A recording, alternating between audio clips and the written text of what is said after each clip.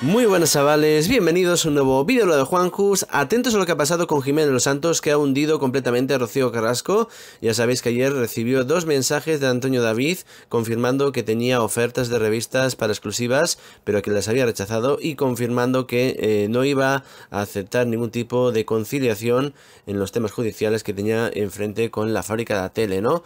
Datos bastante importantes. La realidad está en que eh, Jiménez Los Santos, hablando de Antonio David, habló por supuesto de Rocío Carrasco y dijo que había caído en la trampa de Gloria Camila, que ahora no puede aludir ningún tipo de documentación de su madre en la serie porque no se la ha presentado a la jueza y de hacerlo eh, ya sabéis que corre el riesgo de que sea denunciada por pena de cárcel, incluso pueden pedirle seis años en ese caso, ¿no?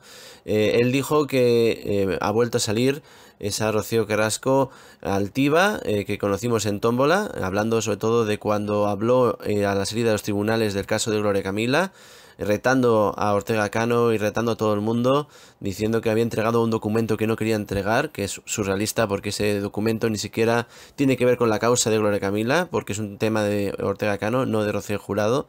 Y eh, también dijo que era increíble cómo cambiaba la versión a cada rato, ¿no? Cómo eh, la documentación importante eh, o, el diario escrito por su madre se convirtieron en escritos, cómo los escritos se convirtieron en anotaciones, cómo las anotaciones se convirtieron en garabatos y decía que no acabó en un posit eh, de milagro, ¿no? O sea, se mofó completamente de Rocío Carrasco y la ridiculizó de una manera impresionante, eso sí, con argumentos y diciendo por qué.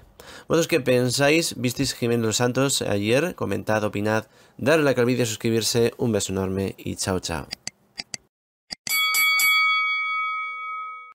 Si te ha gustado este vídeo, dale a like y suscríbete con campana para más noticias. Y si quieres conocerme, visita también mis vídeos diarios. Tienes cadena Juanjo Blog para más información de la forma más amena. ¡Nos vemos!